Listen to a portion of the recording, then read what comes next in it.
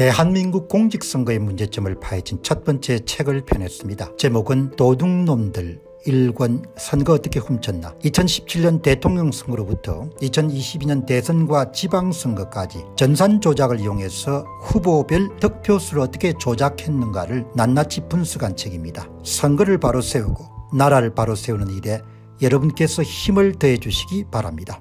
뭐 공천위원장이라는 분은 대학 교수 출신이고 뭐 대학 교수를 제가 폄하하는 건 아니지만 일단 정치 경험이 전혀 없는 사람들이지 않습니까 한동훈 비상대책위원장 공부를 잘한 사람이고 수사를 잘한 사람이지만 어떻든 정치에 경험이 없는 사람이고 그 사람들한테 전부가 다 맡겨진 그런 상태에서 지금까지 온 겁니다.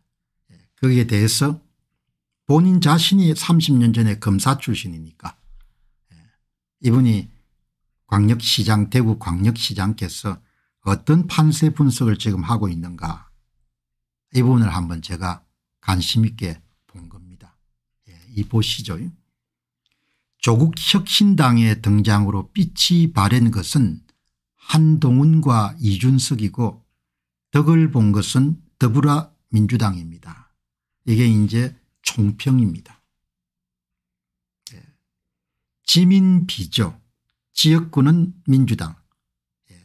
비례대표는 조국 개혁당이란 프레임이 먹히면서 민주당은 지역구에서 약진하고 있고 이게 판세 분석입니다. 민주당은 지역구에서 약진하고 있고 예. 민주당이 지역구에서 판세 분석에서 약진하는데 경합지역에서는 다 예. 사전투표지를 좀 더 집어넣어주면 그건 다 이기는 겁니다.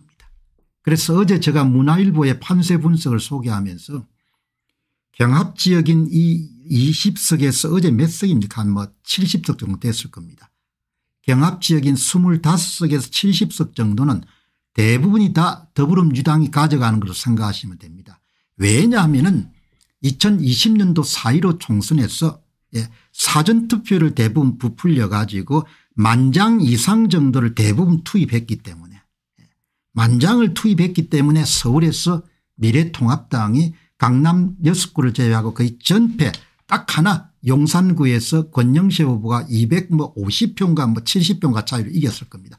전패 49개 가운데 강남 3구인 6개를 제외하면 43개 가운데 딱 한 군데 이름 이기고 다 전패했거든. 그 비결이 뭔가 하니까 만 표 정도를 이름 심어주니까 미래통합당이 갖고 있는 이름 가장 에이스급인 후보인 나경원 후보도 동작을 해서 이수진 후보한테 12,000표 정도가 이름 들어갔으니까 사전투표 여러분들 그 위조 사전투표지를 12,000표 정도 넣었는데 뭐 나경원이 어떻게 이깁니까 그냥 질 수밖에 없는 거죠.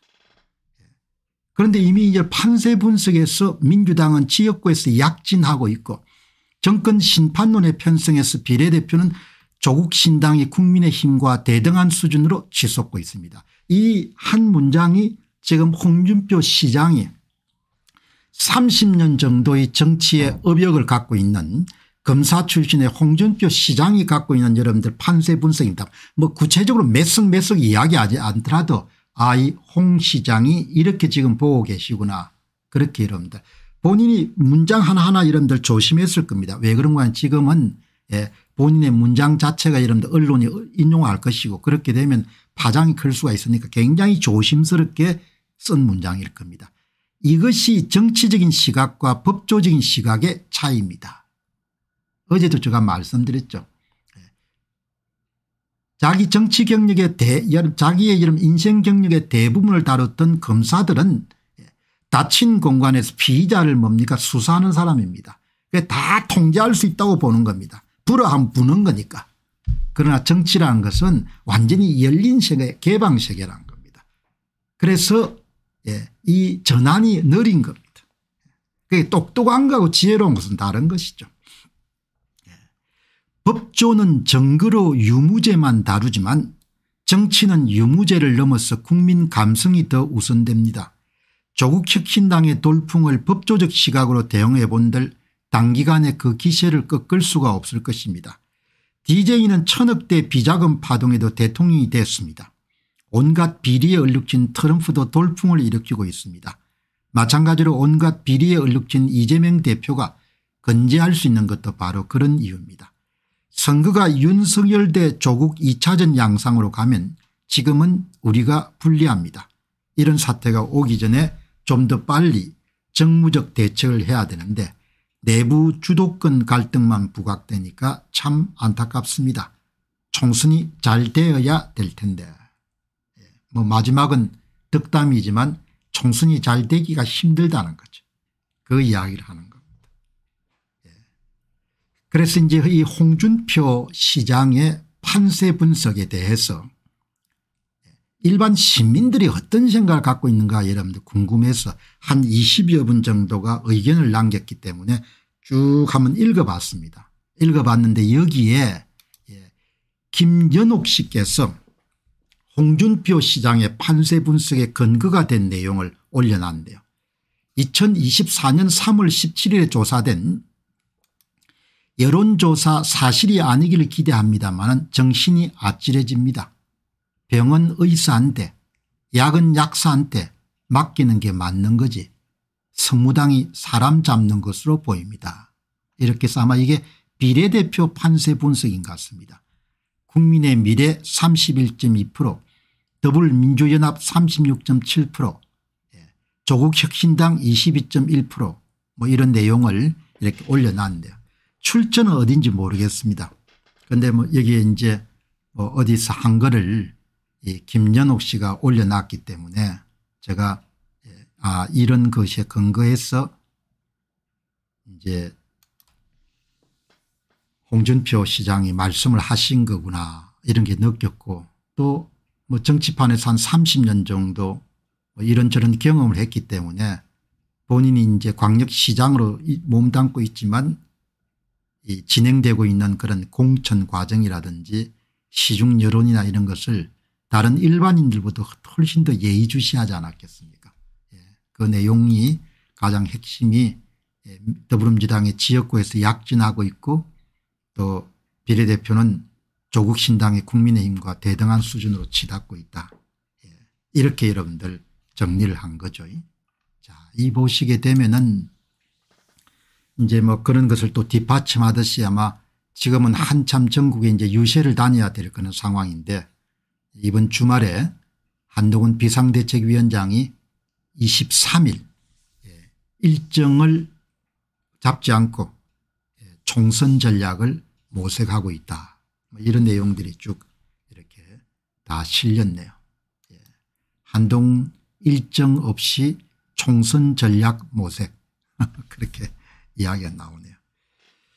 자, 뭐 어떻든 여러분 뭐 지금 상황 이제 까봐야 되지만 제가 어제도 문화일보의 판세 분석을 여러분 말씀드리면서 경합지역은 거의 넘어가는 걸로 보면 됩니다. 경합지역은 2020년도 4.15 총선을 보시게 되면 은 서울 권역을 여러분 중심으로 보게 되면 은 가장 피해를 많이 받던 사람들이 당일 투표에서 52% 예, 정도까지 여러분들 얻었던 미래통합당 국회의원들이 대부분 낙, 낙선을 하거든요. 부산도 마찬가지고 예. 한 54에서 55% 정도 얻은 미래통합당 국회의원들은 살아남았습니다. 그러니까 특정 선거구에 만 표 정도 집어넣으면 못 이깁니다. 이길 수가 없는 겁니다. 예. 그러니까 당일 투표에서 특정 정당의 후보가 55%를 얻는다는 것은 거의 압승한 것을 뜻합니다. 압승하지 않고 그냥 당일 투표에서 경합이거나 경합 이후 약간 우세 정도가 되면 그냥 만표 집어넣으면 그냥 넘어가는 겁니다. 네. 만표를 집어넣는다는 사실을 국힘이 받아들일 수 없고 윤 대통령께서 그걸 받아들이지 못하고 그 소위 제도 수정 사전투표 투표자 수 개수 문제하고 투표관리관 개인도장 날인 문제를 관찰을 못했기 때문에 예, 그냥 선거는 그냥 그대로 그 결과가 나올 겁니다. 예. 이렇게 이러면 돌아가는 겁니다.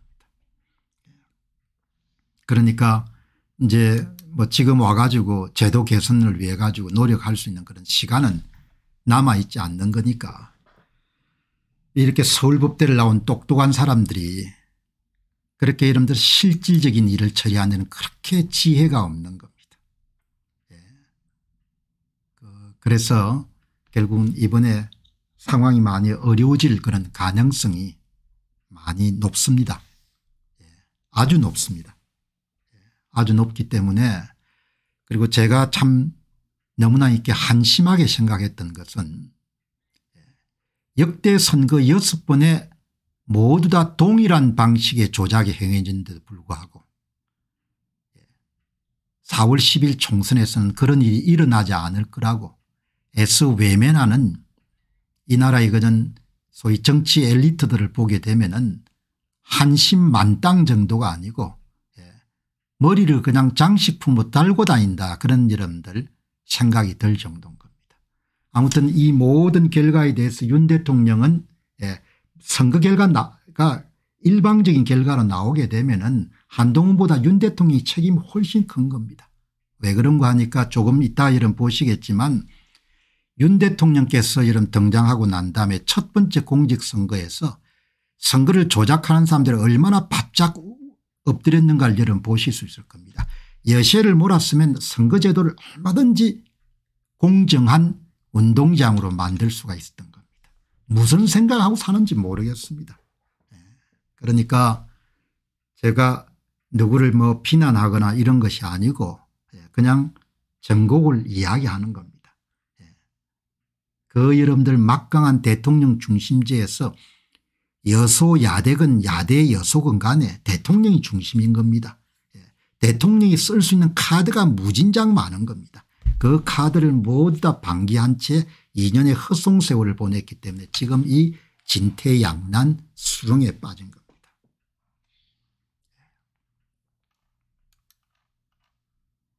자, 이 보시게 되면은 오늘 이 판세를 이제 이해할 수 있는 것은 이 홍준표 시장처럼 관찰자 입장에서 볼 수 있지만 직접 지역구에서 후보로 뛰는 사람들의 속내를 우리가 여러분 좀 엿볼 수가 있으면 은 거시적으로 보는 거하고 미시적으로 보는 거 합치게 되면 은 현재 판세를 조금 더 정확하게 알 수가 있는 거죠.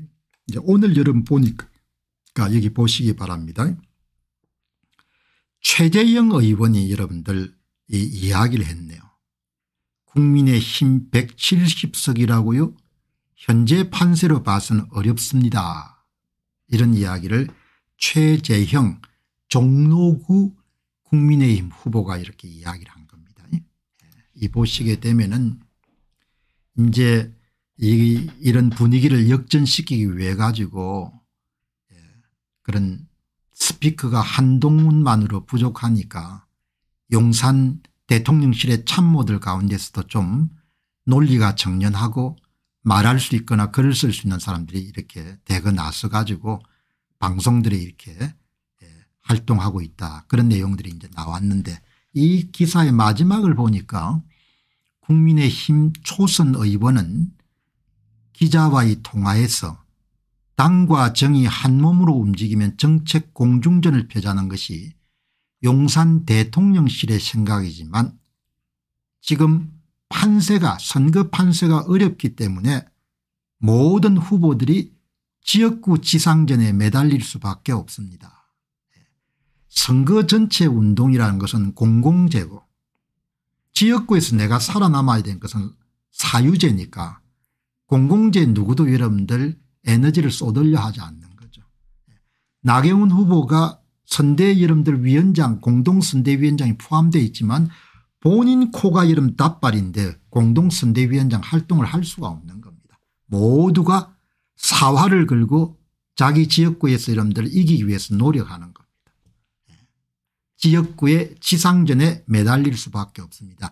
이 내용도 뭘 이야기하는 거 아니까 판세 분석만 보더라도 예, 굉장히 힘든 싸움을 선거구에서 치르고 있다는 겁니다.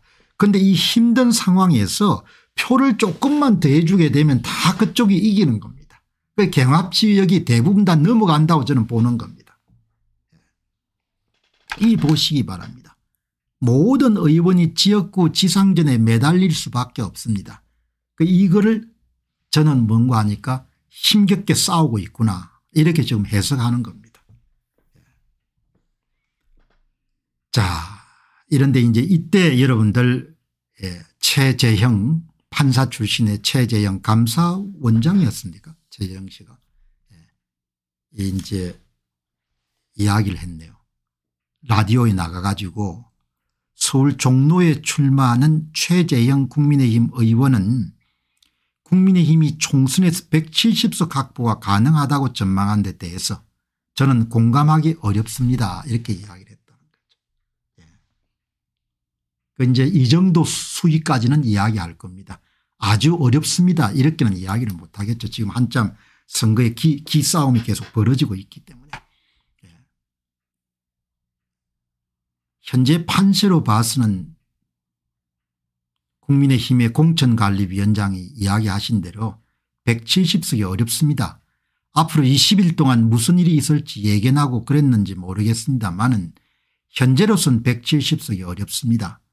정영한 국민의힘 공천관리위원장은 이번 총선에서 국민의힘이 얻을 의석 전망에 대해서 153석에 플러스해서 한 170석은 돼야 하지 않겠습니까 뭐 정영한 국민의힘의 공천관리위원장이 뭘 알겠습니까 그냥 교수하다가 그냥 엉깃길에 나와 가지고 예. 옆에 사람들이 만들어주는 대로 뭡니까 적당히 해서 그냥 발표하고 그냥 본인이 얼굴 마담했을 건데 뭘 알겠습니까 예.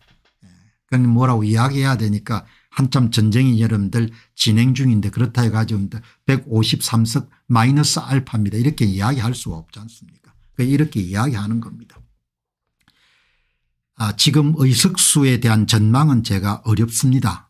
더불어민주당에서 범야권 200석 확보로 윤 대통령 탄핵 가능성까지 이야기하는데 국민들께서 야당의 그런 오만한 태도를 분명히 심판하실 거라고 생각합니다. 이렇게 정도. 예. 그뭐 말씀하시는 최재형 후보의 말씀에 뉘앙스가 많이 어렵다는 이야기. 저희로서는 일단 최소한 다수당 또는 과반의 의석을 얻겠다는 그런 의지로 열심히 뛰고 있습니다마는 예. 이종석 황상무 악재 영향으로 여권 안팎의 수도권 위기를 확성하는 걸 두고도 저만 하더라도 당선 가능성이 더 높다는 여론조사도 있었는데 갑자기 굉장히 어려워졌습니다. 판사님은 잘 모를 겁니다. 갑자기 왜 어려워졌는지. 예. 판사님은 잘 아시더라도 그걸 솔직하게 이야기 안 할 겁니다. 최재형 후보의 말씀이 저만 하더라도 당선 가능성이 더 높다는 여론조사가 계속 나왔는데 갑자기 굉장히 어려워졌습니다. 갑자기 왜 굉장히 어려워졌죠 서울법대 출신의 최재형 후보께서는 잘 아십니까 알아도 이야기 안 하겠죠. 갑자기 왜 어려워졌냐 이야기죠. 갑자기 왜 어려워졌을까요 이것을 직시하려고 하지 않기 때문에 이번 선거도 굉장히 어려운 겁니다. 예. 갑자기 왜 어렵습니까 대한민국 역대 공직선거를 보시기 바랍니다. 공직선거를 어떻게 하는 겁니까 예. 여론 정지 작업을 마친 다음에 주문자 상표 부착 방식으로 표를 넣어주지 않습니까? 표를. 이렇게 표를 넣어주지 않습니까? 2014년 2018년 2022년 2023년도에 강서구청장 선거에서 일어난 일은 그냥 대표 사례인 겁니다. 대한민국 공직선거에서 왓츠 고잉온 어떤 일이 일어나고 있느냐 표를 집어넣어 주잖아요. 표를 집어넣어 주는 것을 깜짝같이 국민들이 받아들일 수 있도록 뭐가 여러분들 정지작업 돼야 합니까 여론 마사지가 돼야 되지 않습니까 예. 그거를 받아들이지 않겠다고 하니까 그냥 뭡니까 그냥 그냥 얼굴에 그냥 무슨 칠할 수밖에 없는 거죠. 이게 여러분 뭡니까 예야 전문가께서 2014년 강서구청장 복을 강서구청장 선거부터 시작해 가지고 2023년도 10월 11일 강서구청장 보궐선거까지 중앙선거관리위가 발표한 최종 결과문이 후보별 득표수자를 분석해 가지고 후보별 득표수의 사전투표 득표수를 제조 생산 발표하는 데 사용한 규칙을 찾아낸 거 아닙니까? 이거를 예, 대통령 이하 국힘의 고위 관계자들이 모두 다 외면한 거 아닙니까? 그러니까 벌을 받는 거죠. 벌을 벌을 받는 겁니다. 이거를 다 받아들이지 않겠다고 한 거예요. 2023 강서구청장 선거에 3만 8,306표를 집어넣어 준 겁니다. 그 3만 8,306표를 집어넣는데 김태우 국민의힘 후보가 어떻게 이깁니까 이길 수가 없는 거죠. 303만 8,306표를 만들기 위해 가지고 국민들은 누구도 실제 사전투표를 알 수가 없으니까 선거인 수준으로 실제 사전투표율 15.26%로 추정되는데 그걸 22.92%를 뻥튀기 해가지고 사전투표율 7.85%를 올려가지고 위조투표율 3만 306표로 확보한 다음에 집어넣어 준 거 아닙니까 그럼 어떻게 이긴다는 이야기입니까 2018년 강서구청장 선거 보시기 바랍니다. 제7회 전국 동시지방선거입니다. 표를 집어넣어 줬으니까 이런 모양이 나오지 않습니까 차이값 사전 빼기 당일을 표를 조작을 해 주면 은 더불당 후보한테 표를 집어넣어 주면 은 이런 그래프가 나오지 않습니까? 좌우 대칭의 차이값이 큰 그래프가. 이거는 뭘 이런 그래프는 뭘 이야기한 겁니까? 더불당 후보한테 표를 집어넣어줬을 때 사후적으로 선관위 발표한 자료가 이런 특징을 가지지 않습니까? 그래 제7회를 보니까 몇 표를 집어넣어줬습니까? 19,555표를 집어넣어줬는데 19,555표를 더불당 민주당 후보의 사전투표 득표수를 위조 사전투표 득표자 수를 집어넣어주는데 어떻게 이깁니까? 이길 수가 없는 거지. 그럼 19,555표가 하늘에 내려왔습니까? 땅에서 올라왔습니까? 아니 국민들이 전혀 사전투표를 모르게 만들어 놨으니까 선관위가 발표하면 않나 예. 국민들이 실제로 사전투표장에 오신 분은 선거인수는 15.43%로 추정되는데 선관위가 예 3.84% 3.84%를 여러분들 뻥튀기 해가지고 19.27%를 발표하고 예, 뻥튀기 해서 위조투표지 19,555표를 만든 다음에 더불당 후보한테 집어넣어 줬는데 음? 이게 2018년 강서구청장 보궐선거입니다. 예. 이런 일을 사전투표가 도입되기 시작한 2014년부터 한 겁니다. 어떻게 이길 겁니까 그걸 윤 대통령이 철두철미하게 이름 은폐한 겁니다. 벌 안 받겠습니까 벌 받죠. 허우대가 멀쩡한 이름 이렇게 다닌 게 폼 다가 아닌 겁니다. 의사들 때려잡는 것이 다가 아니고 예. 선거의 사실과 진실성에 이름 침묵한 대가로 대피할 겁니다. 보시기 바랍니다.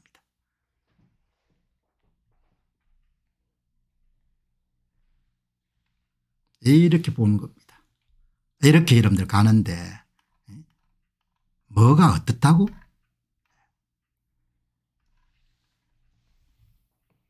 갑자기 갑자기 여러분들 여론이 갑자기 뭡니까 여론이 갑자기 저도 이기고 있었는데 갑자기 그냥 여론조사가 어려워졌습니다. 갑자기 여러분들 어려워지는 거죠. 갑자기 이렇게 만드는 거지 뭐. 그렇게 여러분들 사실을 이야기하고 해결책을 사전투표자 수 여러분들 개수하고 투표가 관련 개인 도장 개인 도장을 찍어서 위조 투표지를 만들 수 없도록 해달라고 그렇게 외쳐도 예. 나중에 여러분들 뭡니까 모가지가 잡혀가지고 끌려다니더라도 할 수가 없는 겁니다. 예.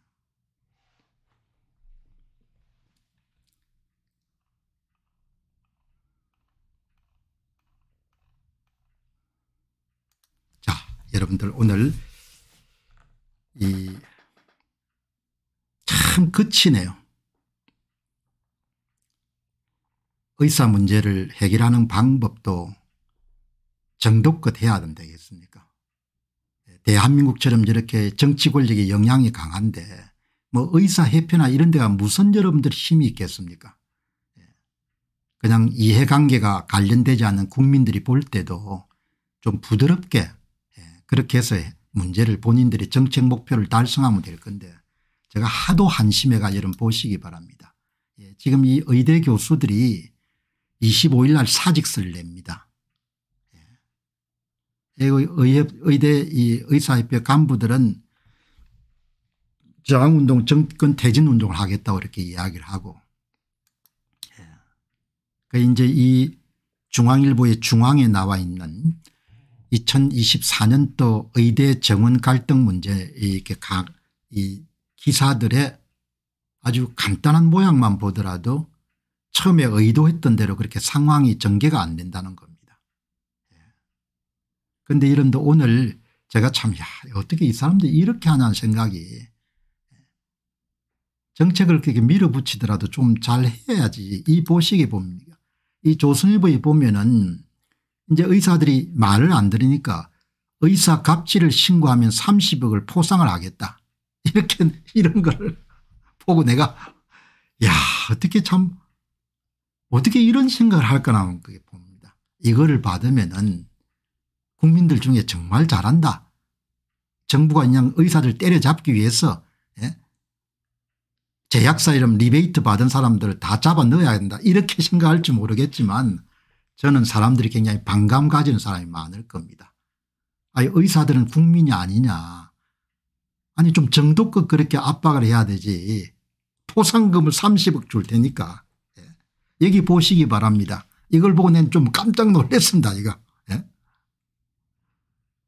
이 보시게 되면은 제약사 영업하시는 분들한테 의사 갑질을 신고하면 30억을 주겠다. 이렇게 이야기를 한 겁니다. 자 대단하네요. 정부가 21일 날 의사들의 제약사 갑질에 대해 신고하면 최대 30억 원의 보상금을 주겠다. 그 의사들이 제약사로부터 불법 리베이트를 받거나 제약사 직원에게 운전 등 사적 업무를 강요한 사례를 신고하면 금액을 주겠다는 겁니다. 그러니까 그걸 이제 사례를 모아 가지고 의사들을 악마화하는 데 사용하겠다는 거죠. 그러니까 꼼짝하지 말라는 거 아닙니까 조폭들이 이렇게 하면은 뭐 그렇게 저 사람들은 사는 방식이 그러니까 그런 모양이다 이렇게 하겠는데 정부가 이렇게 하면 안 되지 않습니까 이게 또 뭘 이야기하는 거 아니까 정상적인 방법으로 잘 돌아가지 않는다, 않는다는 이야기입니다. 지금 이 의사 정원 학대 후 폭풍이. 박민수 복지부 2차장은 차관은 제약사 리베이트 등 불법 행위가 이루어지고 있다는 정보가 있었고 정부는 이것을 건절해야 되는 책임이 있다. 5월 20일까지 집중 신고해라. 싸그리 다 우리말 안 들으면 집어넣겠다 이런 거지 않습니까 너무 치사하지 않습니까 아니 공 박사님 뭐 지금 정부가 이겨야 되는데 치사한 거하고 뭐가 소용이 있습니까 치사한 거라고 다 써야 되죠. 이렇게 하지만 저는 어마어마하게 치사하게 보이거든요. 이렇게 하는 건 아니다는 겁니다. 예. 제약사 불법 리베이트와 의사 갑질 문제는 어제 오늘이 아니다. 그런데 정부가 갑자기 30억 원 보상금을 현상금처럼 내건 것은 의대 정원에 반대하는 의사들을 건박하려는 것이다. 이것은 신중하고 합리적인 정부 정책이라보다도 싸움꾼의 형태처럼 보인다. 역효과를 낼 가능성이 더 높다. 이렇게 여러분들 관료들이 공감 능력이 없어가지고 어떻게 되겠습니까 리베이트 신고하게 되면 은 30억 포상을 하겠다. 이걸 여러분들 제대로 보고 박수치는 사람들이 몇 프로나 되겠습니까 아마 사람들 가운데 너무 치사하다 아무리 의사들이 좀 잘못 난다고 하더라도 이렇게 생각하는 사람이 많을 겁니다. 이 보면은 너무나 위험한 선택을 하고 있는 겁니다. 윤 정부 이런 대통령실에는 사람이 없는지 모르겠는데 너무나 극단적으로 가고 있는 이 보시게 되면은 정부는 다음 주부터 병원을 이탈한 전공의들에게 면허정지 등 행정처벌이 시작된 점을 강조했고 현재 전공의 90% 이상이 1만여 명이 면허정지 대상이다. 일부 의사들이 해외 취업을 언급하자 행정처분을 받은 의사는 해외 처분이 해외 취업이 불가능하다. 군 미필인 전공의들은 병무청의 허가를 받지 못해 해외 출국도 못하고 있다. 경찰은 대한의사협회 비상대책위원회 간부들이 잇따라 소환 조사하고 의료계를 향해 모든 이슈에 대해 대화의 문이 열려 있다고 말했지만 실제로는 강경 일변도의 모습이다. 제가 뭐 일방적으로 비난하려고 하는 의도로 말씀을 드리는 것은 아니고 이렇게 강경책을 계속해서 내놓으면 은 한쪽에서 결사항전을 나가게 되면 은윤 정부도 타격을 받을 수밖에 없지 않습니까 거듭 말씀드리지만 한군 관과 정치 권력의 영향이 민에 비해서 압도적으로 높기 때문에 본인들이 하려고 하면 모든 걸 다 관철시킬 수 있죠. 그러니까 국민들 눈에 비치는 모습이라도 좀 예, 유화적이고 좀 타협하는 듯한 모습을 보이는 것이 좋지 않겠냐 이야기죠. 예. 이 보시게 되면은 예. 의대 정원을 대폭 늘려야 된다는데 공감하는 국민이 압도적이다. 그러나 의대 정원은 각 집단 간 이해관계가 복잡하게 얽혀있는 문제이기 때문에 이런 상황에서 어느 한 집단을 완전히 굴복시키려 하면 큰 저항을 부를 수밖에 없다. 대한의사협회 비상대책위원회는 20일 성명에서 현 정부를 정상적 대한민국 정부로 인정하지 않을 것이라고 했다. 이들 역시 이성을 잃었다고 밖에 볼 수가 없다. 대화하고 절충안을 마련하기 위해서 이렇게 해야 되죠. 그런데 이제 오늘 이런 의견에 대해서 어떤 생각들을 갖고 계시는가 싶어서 밑을 보니까 생각보다 여러분들 처음에 비해 가지고 이런 정부의 조치에 대해서 우려하는 시민들이 폭발적으로 늘어났습니다. 지금은 이 우려하신 시민들이 훨씬 더 많은 겁니다. 예. 상황을 알기 시작한 분들이 많다는 이야기죠. 이 청룡님이 이런 이야기를 합니다. 간첩 신고보다도 더 포상금이 많네요. 의사 갑질이 이적 종복 간첩 신고보다 더 값이 막아는 세상이 되었습니다. 71명이 찬성이고 20명이 반대거든요. 그러니까 이런 여론 동향을 정책하는 사람들이 굉장히 심각하게 받아들여야 되는 거예요. 그러니까 강경 일변도가 대수가 아니라는 겁니다. 이 그레이트라 님이 이런 이야기를 합니다. 박민수 차관도 좀 적당히 하시기 바랍니다. 선 세게 넘습니다. 이쯤 되면 중도층도 어이없어 할 것입니다. 연쇄 살인범 간첩 신고하면 천만이나 줍니까 곧 총선 참패해서 직물정부 정부 될 거란 슬픈 예감이 듭니다. 저가 그런 생각이 듭니다. 4월 10일 이후로 윤통 심판론이 본격화되기 전에 마지막 기회라 생각에 최후의 건박을 하는 겁니까 당신들에게 2천명 정원 가스라이팅 했던 핵심 당사자인 김윤 교수는 민주 비례로 갔습니다. 어제 의사 정원 철회 얘기를 꺼내던데 역시 김윤만 믿고 무대뽀로 그냥 밀어붙었던 겁니까 뭐 이런 이야기가 나오는 겁니다. 예. 어마어마하게 위험한 이야기인 거죠. 확전되지 않도록 굉장히 지금부터는 좀 진화 작업을 벌려야 되는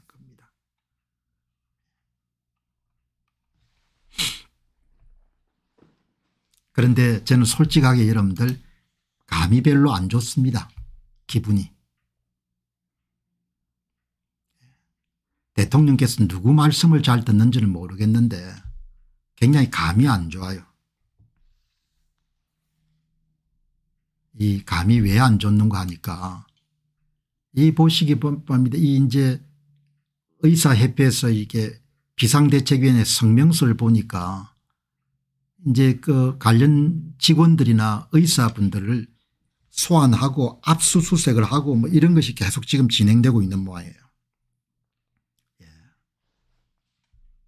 그 여기 이제 의대 정원 저지 대한의사협회 비상대책위원회 페이스북을 제가 방문하니까 보도자료를 냈네요.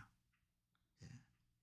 여러분 거듭 말씀드리지만 한국은 정치 권력과 관의 영향이 어마어마하게 센 나라입니다. 그래서 그냥 정부가 꼭 해야겠다 생각하면 그냥 다 할 수 있습니다. 그 일은 의사 정원 학대 문제가 처음에 나왔을 때부터 제가 일관되게 말씀을 드린 겁니다. 대한민국에서는 그냥 민은 그냥 누르면은 눌릴 수밖에 없습니다. 뭐 의사협회가 여러분들 무슨 뭐 그렇게 그좀 힘이 센 것처럼 보이지만 세무조사 들어가고 여러분들 여러 가지 압박하게 되면 다 굴복하게 되어 있습니다. 그래서 예, 그 갖고 있는 힘을 다 쓸 필요가 없다는 겁니다. 그 이런 이야기가 나오지 않습니까 공권력을 이용한 정부의 무자비한 탄압을 규탄하며 의사들은 끝까지 싸워 나갈 것임을 천명합니다. 비상대책위원장이 좀 격한 표현을 썼더라도 이런 이야기가 나올 때까지 밀어붙여서 안 된다는 이야기입니다. 예. 이렇게 이름들 이야기가 되는 겁니다. 예. 이 이제 비상대책위원회 보도자를 보면은 최근 의협 비상대책위원회 업무를 도와주고 있는 의협 직원들이 참고인으로 줄소환되어 조사를 받았습니다. 어제는 의사협회 일반 비대위원 중에 한 분이 본인 병원에서 압수수색을 당했습니다. 그리고 오늘은 의협 직원 중에 한 명이 자택에서 압수수색을 당하는 믿을 수 없는 일이 났습니다. 도대체 이 대한민국의 자유와 인권을 존중할 국가가 맞습니까 절차와 원칙을 지키는 국가가 맞습니까 하지만 아무리 정부가 공권력을 동원해 탄압해도 의사들은 무너지지 않을 것입니다. 이렇게 극단적인 반발이 나오게 만들면 안 된다는 거죠. 여러분들 그냥 완전히 피의자 다루듯이 지금 다루고 있는 겁니다. 부메랑이 내가 후폭풍이 터지면 은 어떻게 할 겁니까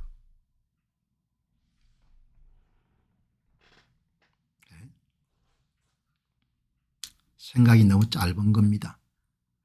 어제 박민수 차관은 해부 실습용 카데바가 부족하다는 문제에 대한 해결 방안으로 카데바 시신 공유 및 수입을 언급하며 시신을 기증해 준 고인과 유족의 명예를 실추시키고 모욕했습니다.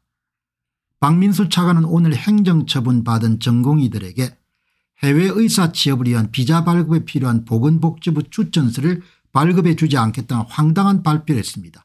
이것은 행정처분 받은 경력만 있어도 추천서를 써주지 않겠다는 일로 보입니다. 하지만 현재는 규정상 행정처분 기간이 끝나면 언제든 추천서를 신청할 수 있게 되어 있습니다. 거주 이전의 자유와 이민이 합법화된 자유민주주의 국가에서 해외 취업을 국가가 나서서 규정에도 어긋나게 제한하겠다고 협박에 나선 것은 도저히 받아들일 수 없습니다. 정부가 억누르면 은 억누를수록 의사들은 투사가 되어가고 있습니다. 어떻게든 탄압하고 처벌하면 정부가 시키는 대로 순수히 따를 수밖에 없을 거라는 생각하는 전체주의적 폭력에 의사들은 분연히 맞설 것입니다. 자유와 인권을 무시하는 정부라면 자유민주주의 헌법정신 아래 세워진 대한민국의 정부가 될 자격이 없습니다. 예. 정책 목표가 아무리 이름 하급하고 중요하더라도 절차적 정당성을 지키는 것은 대단히 중요하지 않습니까 예. 절차적 정당성이 법적으로 정당했을 뿐만 아니고 우리가 갖고 있는 보편적인 그런 감정이나 통념이나 관습에 미루어 가지고도 그게 정당해야 되는 거죠. 의협 직원들의 여러분들 집을 그냥 압수수색을 하거나 의사의 병원을 수, 그냥 압수수색을 하거나 그건 너무 속이 보이는 일이지 않습니까? 그건 우리가 아무리 이런 정부 정책의 이름들 정당화하더라도 그게 합리화될 수가 없지 않습니까? 이거를 자유를 사랑하는 대통령 지하에서 이런 일이 일어나면 어떻게 되는 겁니까 예. 이렇게 여러분들 볼 수가 있는 겁니다. 예. 여러분 제 이야기가 힘을 갖고 있다고 다 쓰면 안 되는 겁니다. 예감이 안 좋다는 이야기입니다. 내가 지금. 오늘 여기 방송 보시면서 아 더 힘을 세게 써야 됩니다. 이렇게 이야기하신 분도 계시는 거 내가 충분히 다양한 의견이 있으니까. 그런데 예감이 안 좋다는 이야기입니다. 예감이. 이 예감을 어제 유재일 tv를 운영하는 정치평론가 유재일 씨가 당신들이 이렇게 하다 진짜 당한다 이야기하지 않습니까 이 양반 이야기의 핵심이 뭡니까 당신들이 이렇게 정치라는 것을 힘을 가지고 이렇게 강하게 하면 은 잘못하면 당신들이 당한다는 이야기를 하지 않습니까 당신들이 당할 수 있다. 예. 당신들이 이렇게 하다 큰일 난다는 이야기지 않습니까 이화여대 학생들이 예. 그게 아주 사소한 시작이었잖아요. 탄핵 서막이 그렇게 시작됐지 않습니까 그거를 유재일 씨가 이야기하는 것을 제가 어제 찬찬히 소개해 드렸지 않습니까 예. 이렇게 당신들 그냥 뭐 지금 힘 갖고 있으니까 폼 잡는데 박 대통령 탄핵이 어떻게 시작됐냐 이야기예요. 그거를 유재일 씨가 뭐 예를 들면은 의사 집안하고 무슨 관계가 있는 사람 아닌데 본인이 감각이 있을 거 아닙니까 이 보시기 바랍니다. 이게 탄핵의 시작이었습니다. 정신들 차리세요. 머저리 검사 아저씨들아 이 이야기를 하지 않습니까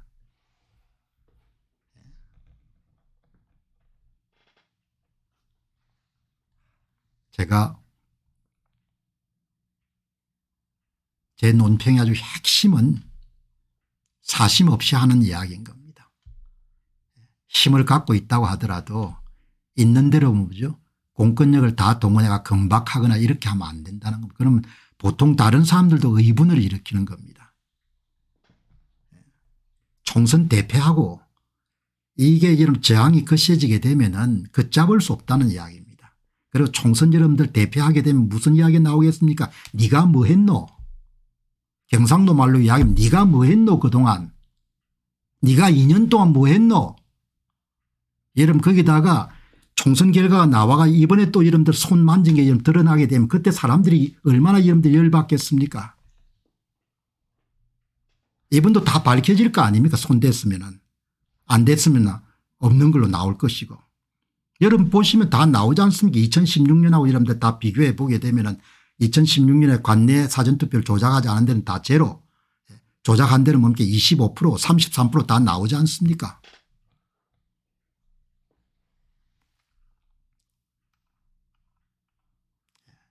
여기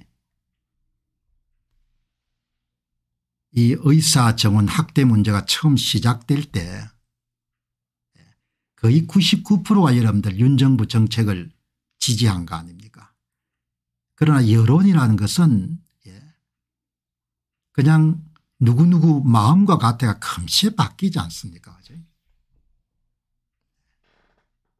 그래서 그 여론을 갖고 뭘 작전을 펼치면 안 되는 거죠.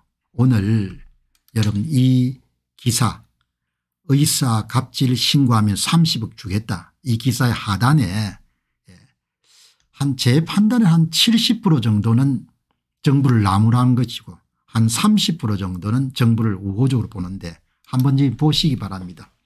호호리 님이 윤 정부는 의사들과 의사 집단을 다루는 기술 자체가 없습니다. 오로지 억박 지르고 잡아넣고 자격증 빼앗고 그런 강수밖에 모릅니다. 때론 달래고 대화하고 의논하고 화해해야 되는 것 아닙니까 그러니 총선용이란 말을 듣는 겁니다. 밀리면 총선에 진다는 압박감에서 그러고 있다고 국민이 느끼게 되는 겁니다. 그럼 애초에 싸움을 걸지 말든지 좀 더 유연하게 대처했어야 되는 겁니다. 막다른 골목으로 몰면 지도 사납게 대든다는 말을 모르십니까? 그럼 피해는 누가 봅니까? 의사들만 봅니까? 이런 식으로 지방 국립대는 200명 사립대는 150명이라는 방식으로 대부분 일렬적으로 입시 정원을 결정하는 그런 것이 옳다고 생각하십니까? 대학별 사안이 다르지 않습니까? 꼭 그런 방법에 밖에 없습니까 이게 60명이 찬성이고 반대가 33명인데 초기에 2000명을 들고 나왔을 때 거의 뭡니까 뭐 천대 제로였을 겁니다. 이게 여론이 이렇게 바뀐 겁니다 사람들이. 이또 여러분들 보통 분들 요즘에는 뭐 이 중견 칼럼니스트나 이런 분들이 사실 자체를 잘 이야기 안 하기 때문에 의사가 제약사에 갑질을 한다. 물론 그런 사례가 있을 겁니다. 그런데 그런 갑질이라고 하는 것이 보건부 차관이란 자의 표현이 참 제약사라면 거대 대기업이고 의사는 일개 개인일 텐데 갑질이라는 표현보다도 자기들 이익을 위한 로비겠죠.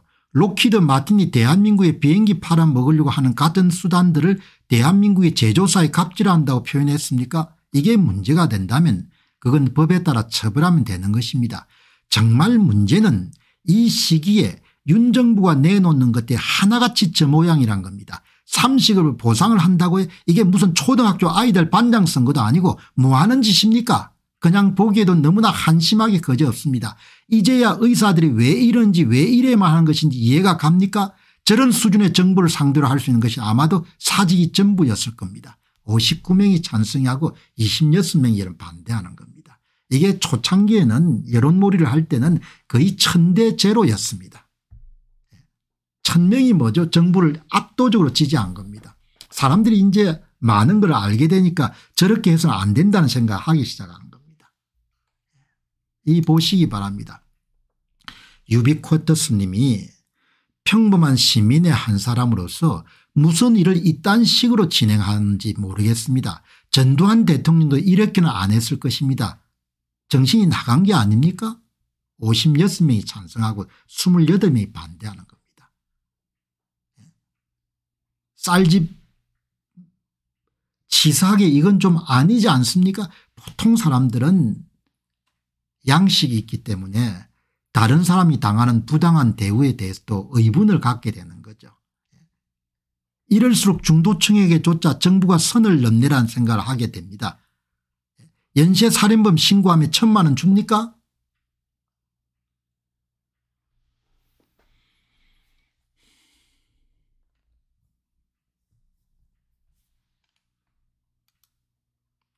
의사들이 졸지에 해외 출국도 못하는 성폭행이나 마약사범 취급을 받게 됐습니다.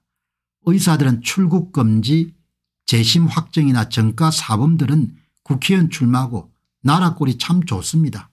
이렇게 사람들이 비아냥거립니다. 이 웃기는 사람 태도 봐라. 대화를 하자고 앞으로 해놓고 금박을 한다. 그러니 당신들이 뭐가 되는 게 있냐. 이런 사람이 차관식이나 하고 있는 건데 4대강 강우병 세월호 탄핵 국민들 정신 차리기 바랍니다. 이게 나오지 않습니까 공권력을 폭력적으로 사용하는 정권은 종식시키는 게 맞습니다. 이런 이야기가 조선일보에 나오는 겁니다. 이분들이 아마 투표장에 가면 국민의 힘을 찍을 겁니다. 42명이 찬성하고 14명이 반대인 겁니다.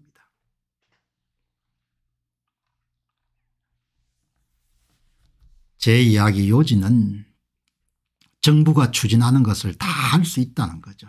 그래도 일반 국민들의 눈에 좀 타협하고 또 협상하고 대화하고 설득하고 그런 모습을 우리가 보기를 원하지 않습니까 그거를 무슨 군사작전 치르듯이 피의자 신분하듯이 그렇게 치르게 되면 은 반드시 반작용이 있다는 겁니다. 오늘 이 신문에 이 소위 보건복지부 장관의 어처구니 없는 30억 보상건에 대해서 70% 정도가 정부를 나무란다는 것은 심사숙고해야 될 거죠.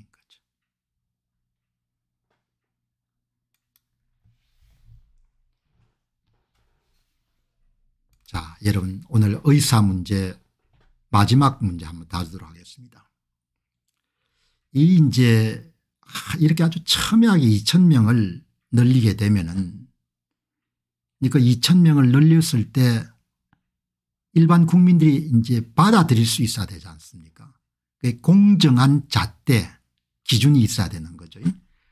만일 서울을 여러분 동결하고 서울을 동결하고 지방에 예를 들면 2천 명을 다 배정하면은 당연히 지방의 여러분들 인구당 의과대학 학생 숫자 이렇게 해서 공정하다는 것을 보여줘야 되지 않습니까 예. 예를 들면 전남 충청 경남 이런 데 여러분들 2천 명을 다 뿌리면 은 수도권은 한 명도 늘려줄 수 없다 그렇게 하면 은 지방에 다 2천 명을 배정해야겠다 그게 표를 받는데 도움이 된다고 생각하게 되면 은 그 2천 명을 배정할 때도 예. 경상북도 인구 1000명당 의과대학 여러분들 정원수하고 충청남도 여러분들 의과대 그 인구 1000명당 의과대학 정원하고 일치해 가지고 남들이 볼 때도 아 인구 비례해서 저렇게 의과대학 숫자를 늘릴 모양이다. 의사 숫자를 늘릴 모양이다. 이렇게 납득이 돼야 되지 않습니까? 그런데 지금 이게 늘려놓은 걸 보시기 바랍니다. 늘려놓은 걸 보게 되면 은 그냥 지 마음대로 늘려놨다는 생각이 들고 그다음에 공무원들이 뭡니까? 의사결정을 하니까 공무원들이 사는 데는 훨씬 더 뭡니까? 그냥 의과대학 정원을 많이 늘려주면 은 그걸 누가 여러분들 보고 공정하다고 생각하겠냐 이야기죠.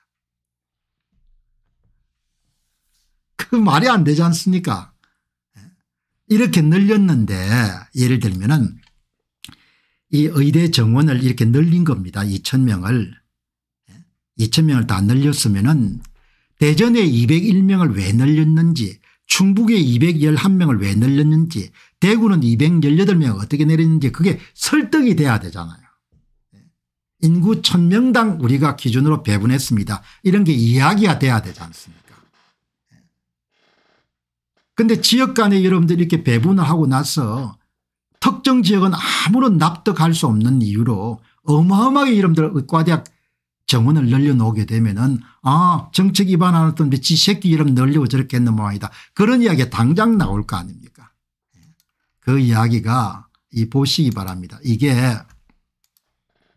예, 이게 이제 보시게 되면은 지역별로 늘어난 숫자를 보게 되면은 정부가 무엇을 의도했는지 의심스러울 정도입니다. 이 보시기 바랍니다.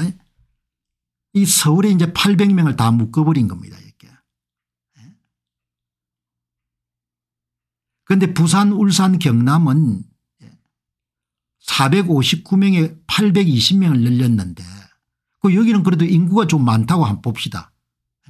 그런데 대전 충남북은 왜 전국에 1등이 됐죠 음? 대전 충남은 여러분들 421명에서 970명으로 왜 뛰었냐 이야기예요. 이걸 설명할 수 있는 관리가 있겠냐 이야기죠. 세종시에 있는 공무원들이 여러분들 그 이걸 집행을 했기 때문에 본인들이 자식을 넣기 위해서 이렇게 늘렸다고 사람들이 의심하지 않을 수가 없지 않습니까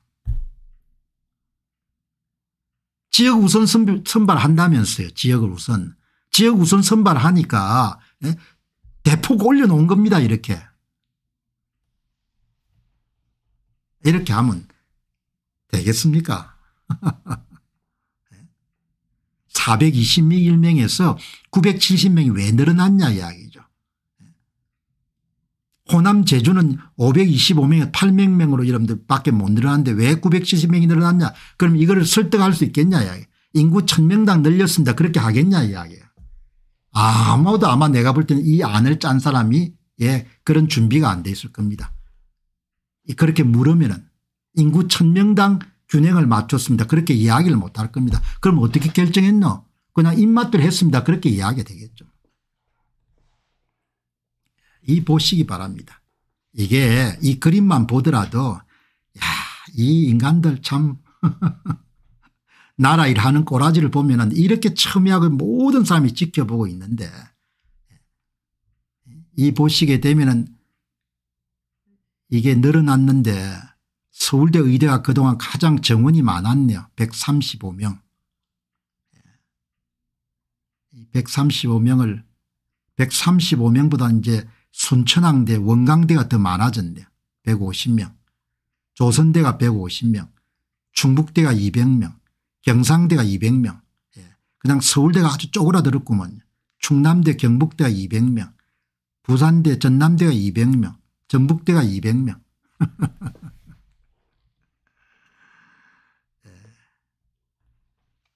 이게 서울의대 입시 정원 135명입니다. 예. 그리고 정시 30명. 하, 어렵겠네요. 예.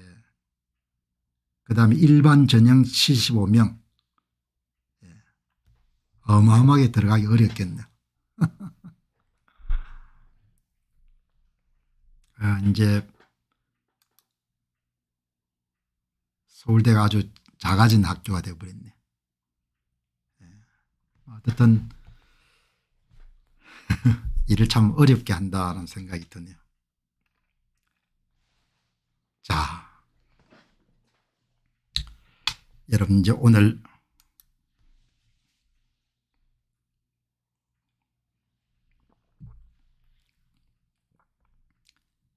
대통령 중심제에서 이런 대통령이 얼마나 힘이 센지 한번 보시기 바랍니다.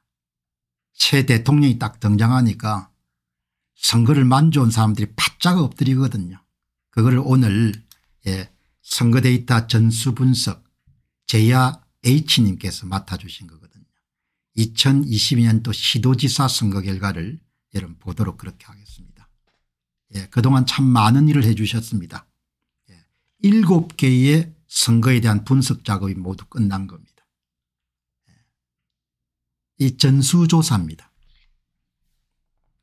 중앙선거관리위원회가 공식적으로 발표한 후보별 득표수를 분석해 가지고 일곱 개 전수조사가 다 끝난 겁니다 지금. 이 일곱 개 전수조사를 통해 가지고 선거를 만지는 사람들이 사전투표에서 어떻게 했는지를 다 밝혀낸 겁니다.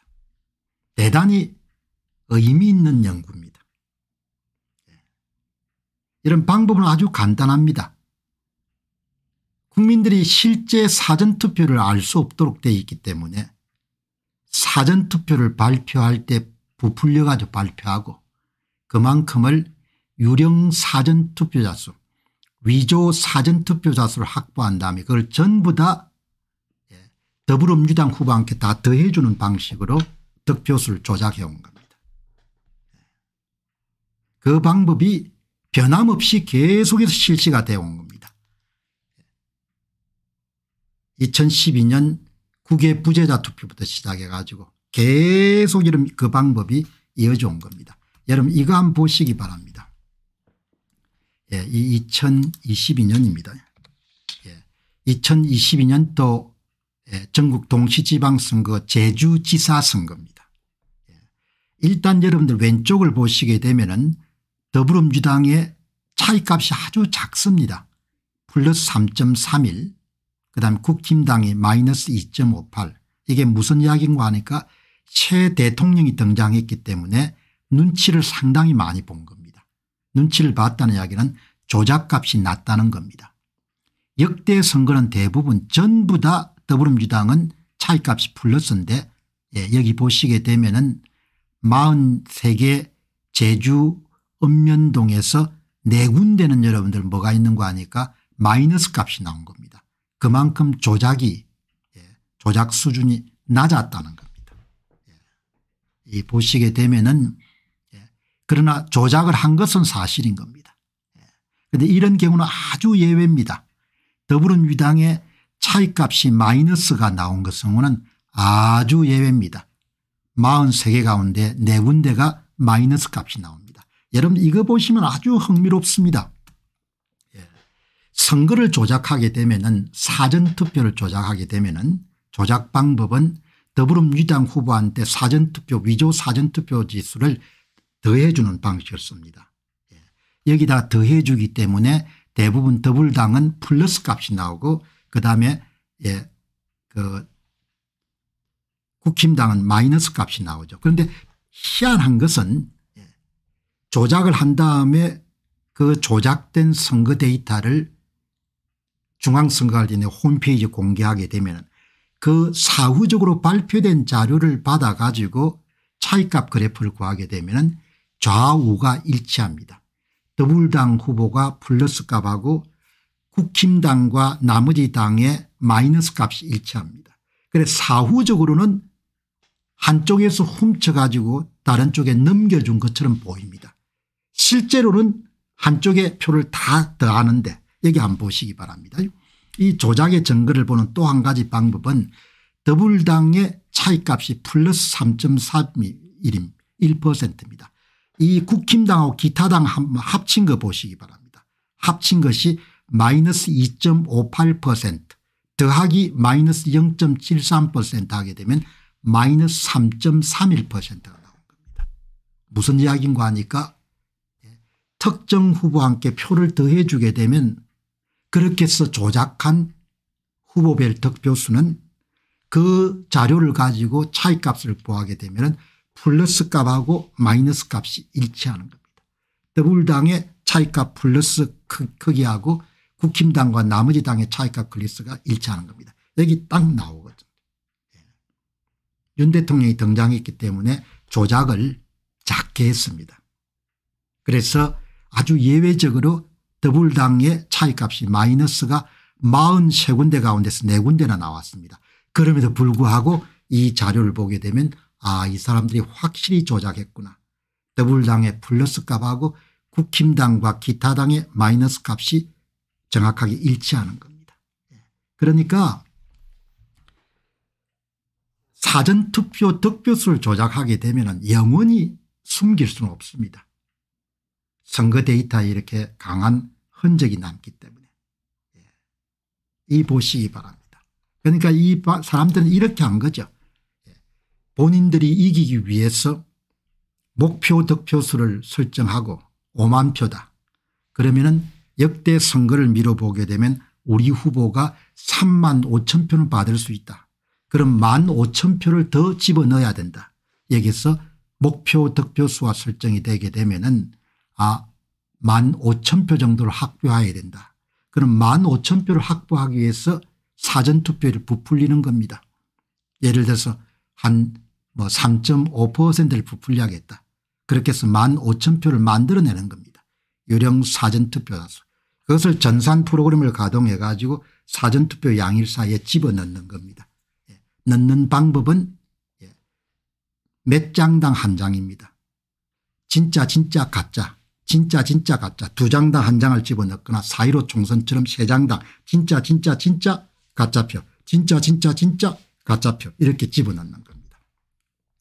그리고 4박 5일 사이에 실물로 된 위조투표지를 투입하겠죠. 강서구청장 보궐선거는 7.68%를 사전투표를 부풀렸고 유령 사전투표도 3만 8,608표를 해가지고 더불당 후보한테 다 집어넣어 준 거죠. 그리고 강서구청장 보궐선거 실물 위조투표에도 정확하게 맞춰서 집어넣은 겁니다. 그렇게 나온 거죠. 이 일을 계속 해온 겁니다. 그래서 이 분야의 전문가들이 그 사람들은 전문가들인 겁니다. 눈 감고도 할 수 있을 것 같아요. 열 몇 번 정도를 조작을 했기 때문에. 예, 여러분 이거 보시기 바랍니다. 이게 세종시입니다. 예, 세종시는 조작을 했는데도 불구하고 국힘당 후보가 승리 안 됩니다. 여러분들 역대 선거와 마찬가지로 한 군데 빼고 거의 전부가 더불당이 플러스가 나온 겁니다. 이건 무슨 이야기가 전부 다 표를 집어넣어 줬다는 겁니다. 플러스 4.23을 차이값입니다. 그런데 여기서 또 재미나는 것은 2022년도 예, 지방선거의 세종시 선거 같은 경우에는 예, 후보가 두 명만 나왔습니다. 그래서 더 심하게 걸려든 겁니다. 더불당의 차이값이 플러스 4.23% 국힘당의 차이값이 마이너스 4.23%입니다. 정확하게 좌우가 일치하는 겁니다. 예. 조작을 해놓으니까. 음. 그러니까 여러분들 좌우가 정확하게 일치하는 겁니다. 이걸 데칼코만이라고 하죠. 예. 종이에다가 여러분들 물감 묻혀가 딱 붙여가지고 폈을 때 마찬가지라. 똑같이 나오는 겁니다. 예. 기가 차지 않습니까 세상에 그 많고 많은 숫자 가운데 더불어민주당의 사전 빼기 당일의 차이값 크기하고 국힘당의 사전 빼기 당일의 차이가 정확하게 일치한 플러스 4.23 마이너스 4.23 예. 합치면 뭐죠 8.46%입니다. 예. 대략 사전투표자 기준으로 8.6% 정도를 조작을 한 겁니다. 예. 이런 짓을 한 거죠. 그러니까 여러분이 보시게 되면은 참고로 예, 이 세종시 조치연업 더불당 4.6 마이너스 4.6 착하게 일치하지 않습니까 예. 이게 투표소 단위별로 읍면동 단위별로 정확하게 규칙을 사용해 표를 이동시키기 때문에 세종시 연기면 플러스 5.6 마이너스 5.6 세종시 연동면 플러스 2.2 마이너스 2.2 부강면 플러스 0.2 마이너스 0.2 건남면 플러스 3.7 마이너스 3.7 더불어민주당과 이런 국힘당이 착하게 일치합니다. 이 무슨 이야기를 하는 겁니까? 전산 프로그램을 사용해 가지고 조작을 한 겁니다. 전산 프로그램 사용해 가지고 전산 프로그램 사용해 가지고 착하게 이름 한 것이 그대로 드러나는 겁니다. 이렇게 이름들 조작을 한 겁니다. 22개 은면동에서 15개만 여러분들한테 보여드린 겁니다. 기가 차지 않습니까 그러니까 이거는 또 무슨 이야기라는 거 하니까 유령 사전 투표자를 확보한 다음에 동별로 다 집어넣어 줬다는 겁니다. 마치 강서구청장 보궐선거 10월 11일에 20개 강서구에 동하고 거소투표 21개 동일한 비율로 다 표를 더해 줬다는 이야기입니다. 예. 이렇게 여러분들 조작을 한 겁니다. 그러니까 뭐 지금 이런 것을 보고도 가끔가다 여기에 정말 뭐 음? 선거 부정이 없다고 이야기하시는 분들은 뭐 그냥 그렇게 믿다가 살다 가기 바랍니다. 예. 나는 선거 부정 문제에 대한 것을 한 사람이 갖고 있는 양심과 그 사람 인격의 전부를 이야기하는 거, 하는 거라고 보는 겁니다. 그래 조갑재 씨가 선거 부정이 없다고 이야기하는 그냥 조갑재 씨 자신의 인간 전부가 그렇다는 겁니다.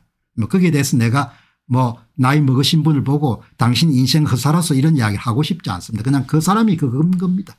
예. 이거는 과학이 이야기하는 겁니다. 숫자가. 예. 선거를 만져온 사람들이 어떤 일을 해왔는가를 이야기하지 않습니다. 이거를 대통령께서 입을 다문 겁니다. 예. 온전할 수가 없을 겁니다. 이 보시기 바랍니다. 이거를 여러분들 두 사람이 나왔기 때문에 정확하게 플러스하고 마이너스 값이 일치하지 않습니까 어떻게 보면 좀 인공적인 아름다움이 있는 거죠. 예. 이 좌우가 정확하게 일치하지 않습니까 예. 예. 이렇게 조작을 했어도 국힘당이 여러분들 세종시장이 당선된 겁니다. 어떻든 간에 제야 H님께서 2022년도 시도지사 선거의 선거 데이터 전수 분석을 마무리해 가지고 짧은 기간에 제야 H님께서 일곱 번의 공직선거를 다 분석하는 것을 완료를 한 겁니다. 어마어마하게 여러분들 이 작업이 완료된 것을 자, 저한테 보내주면서 멘트를 했더군요. 공 박사님이 여러 번 강조한 바와 같이 2022년도 전국 동시지방선거는 윤 대통령께서 등장하고 나서 치른 첫 번째 공직선거이기 때문에 윤 대통령 눈치를 참으로 많이 본 것으로 선거 데이터에 나타나 있습니다. 그렇게 예, 논평을 해서 여러분들 메일을 보내주셨거든요. 그러니까 윤 대통령께서 방향을 좀 잘 잡으셨으면 지금 정도면 국민들이 선거 문제에 대해서 걱정하지 않고 선거를 치르게 됐겠죠. 그러나 뭐 본인이 어떤 이유가 있었든 간에 침묵을 하기로 결정하셨기 때문에 지금 끙끙 앓고 있을 겁니다.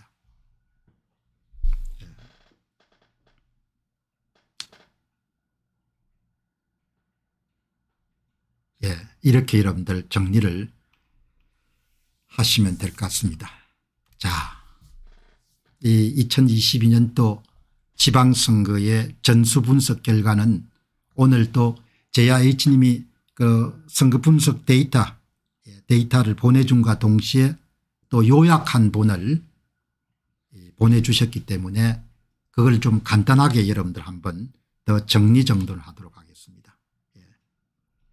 예. 앞에서 말씀 2022년도 시도지사 차이값 현황입니다. 예. 그리고 이 연구는 앞에서도 강조한 바와 같이 일곱 번째 전수조사가 마친 겁니다.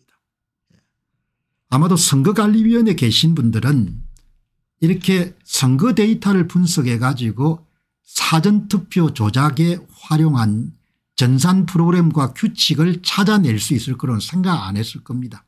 한 10년 정도 국민들을 속여 왔기 때문에 뭐 국민들 가운데 누구도 이런 방대한 작업을 수행하리다 이렇게 생각 안 했을 겁니다. 그러나 제야 H님이 이 작업을 수행하셔 가지고 예, 지금 시행된 일곱 번의 공직선거에서 모두 다 동일한 규칙 동일한 전산 프로그램을 이용해 가지고 사전투표 득표수를 조작해 온 겁니다. 조작해서 권력을 선관위가 만들어 온 겁니다. 그게 이제 밝혀진 거죠. 자 여러분 이제 오늘 동시 시청하고 계신 분들은 그걸 한번 눌러주시기 바랍니다. 좋아요를 한번 눌러주시면 그러면 함께 좀 노출이 될 수 있지 않겠느냐 그렇게 생각이 됩니다. 자, 이 보시기 바랍니다. 시도지사 차이값 현황. 예. 이게 여러분들 전체 요약입니다. 2022년도 예, 지방선거에서 관내 사전투표자 수는 642만 명 정도가 투표에 참가했습니다. 예, 관내 사전투표 득표일 빼기 당일 투표 득표입니다. 거의 전국 차원에서 다 조작을 한 겁니다. 보시게 되면. 예. 강원 일부 지역 충북 몇군 지역 예, 경상북도 정도에서만 여러분들 마이너스 값이 나왔고 더불어민주당은 거의 전부가 다 플러스 값이 나온 겁니다. 예. 그리고 조작 규모도 꽤 큽니다. 더불어민주당의 차이값 평균값이 플러스 4.48% 국힘당이 마이너스 4.18% 기타당이 마이너스 0.3%입니다. 여러분 다시 한 번 더 정리하게 되면 은 사전투표 득표수를 더불어민주당과 함께 전부 다 더해 주게 되면 은 사후적으로 만들어진 선거 데이터에서는 차이값이 좌우대칭으로 마치 국힘당으로부터 표를 훔쳐가지고 더불당으로 더해 준 것처럼 그렇게 모양새가 보이는 겁니다. 여러분 여기서도 보시기 바랍니다. 조작의 또 다른 증거가 더불당의 플러스 값하고 국힘당과 기타 당의 마이너스 값이 일치합니다. 더불당 4.48% 차이값 국힘당 마이너스 4.18% 더하기 기타 마이너스 0.30%를 하게 되면 마이너스 4.48%가 됩니다. 플러스 값하고 마이너스 값이 정확하게 일치합니다. 예수입니다. 예술. 예. 이 보시기 바랍니다. 이렇게 조작을 한 겁니다. 예. 이것을 수평축에 여러분들 전국에 은면동을 다 이렇게 배치하게 되면 이런 그래프가 나오는 겁니다. 한눈에 보더라도 뭡니까 2022년 또 전국 동시지방선거가 조작을 대부분 다 했다는 것이 드러나는 거죠. 단 여기 보시게 되면 차이값이 좀 작습니다. 왜? 윤 대통령께서 등장하셔 가지고 이 사전투표를 조작하는 예, 전문 기술자들이 눈치를 본 겁니다. 아주 섬세하게 조심해서 조작을 한 겁니다. 이 관내 사전투표 조작 상황인 겁니다. 예. 여러분 그 다음에 이제 관외 사전투표 우편투표 조작한 거 보시기 바랍니다. 관내 사전투표 또 마찬가지입니다. 광주 전북 일부 전남 일부 지역에 제외하고 전국에 다 조작을 한 겁니다. 보시게 되면 그래서 2022년 지방선거에 더불어민주당의 차이값이 전부가 다 불렀습니다. 거의. 우편 투표는 255만 표 정도 됩니다. 여러분들 이렇게 이게 전부 다 표를 더해 주는 겁니다. 더불어민주당에. 예.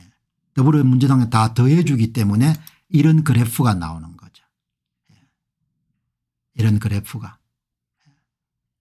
그런데 이게 표를 더해 주고 그다음에 여러분들 이게 선관위가 만들어서 발표한 자료를 가지고 차이값 그래프를 그려보게 되면 은 우리가 흔히 이야기하는 데칼코마니처럼 0을 기준으로 해서 예, 물감을 가지고 종이를 여러분들 색종이를 절반으로 접었다 폈을 때와 마찬가지로 이렇게 예, 좌우가 대칭인 그리고 플러스 값하고 마이너스 값이 일치하는 여러분 보시기 바랍니다.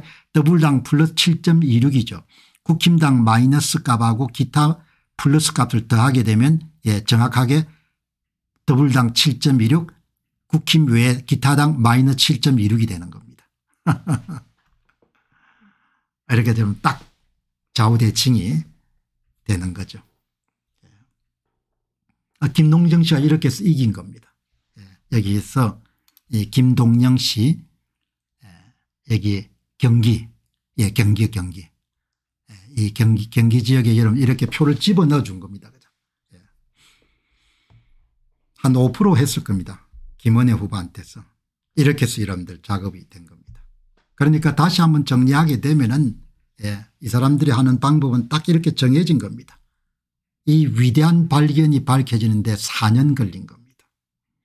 이 작업을 밝히는데 1등 여름 기여자는 제야 전문가 예, 2등 기여자는 제자 H님 그다음 3등 기여는 제야 K님 그다음에 장영우 대표 이런 분들이 예, 주신 보고서가 다 여러분들 취합이 돼 가지고 예, 아이 사람들이 사전투표 양일 사이에 사전투표율을 올린 다음에 위조 사전투표자를 확보한 다음에 그걸 전산조작으로 전부 다 더불당 후보한테 더해 주는 방식을 쓰구나 이게 찾아진 겁니다.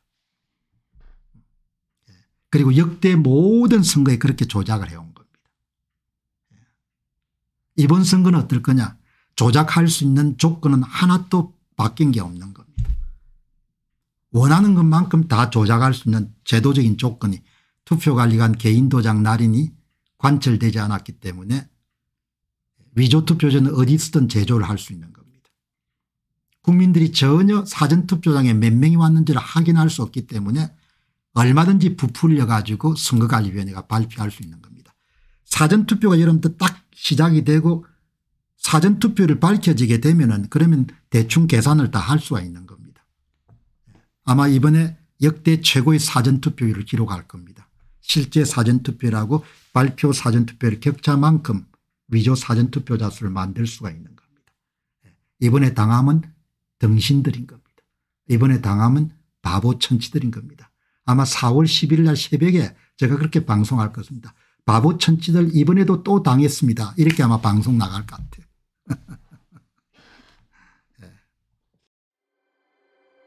안녕하십니까 공병호입니다. 그동안 공병호 tv는 선거 공정성 회복과 자유민주주의 체제의 보존과 발전을 위해 노력해왔습니다.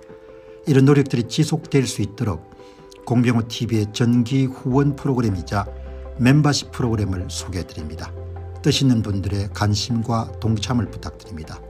선거 공정성 회복을 위한 노력을 지지하시고 훌륭한 나라 만들기에 동참하시는 시청자분들이시라면 구독 버튼 바로 옆에 있는 가입 버튼을 통해서 정기 후원 프로그램에 가입할 수 있습니다.